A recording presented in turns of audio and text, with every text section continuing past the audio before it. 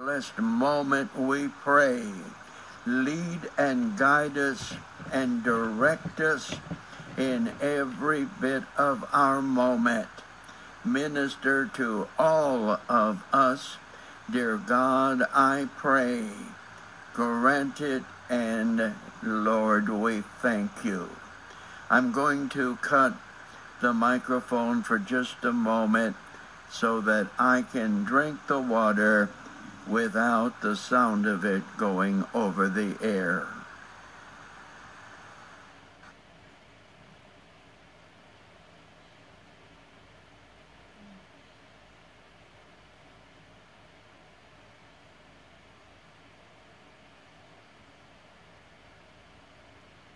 Thank you, Lord, for this moment. And now, go. No, uh, any callers? We need callers to be coming in as we're now in the second hour.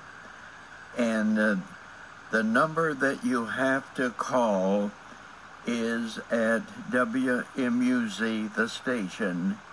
And that number is 313 838 1035. And uh, you may want to write that number down 313 838 1035. And uh, I trust that there'll be some of you that are praying tonight for night vision as the equipment at my home here they came out and took part of it away and so they have to know what has to be done and then bring it back so that we can get back to what is expected but we need the help in this moment. And so I'm asking that God would bless night vision.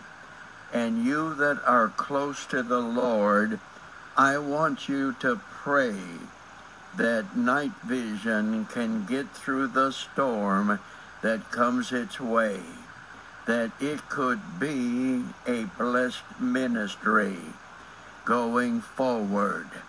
May God bless night vision is my prayer.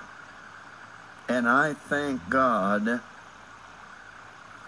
that there are so many that are listening that minister to me.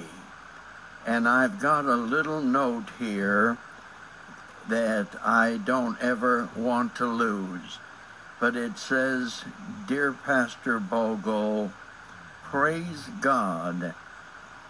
Pray for all us sinners. Thank you. And uh, it is a joy to know that Jesus came to seek and to save the sinner. And I'm glad that he loves the sinner, but not just the sinner. He loves the backslider. And the backslider is someone that was doing pretty much what God wanted. And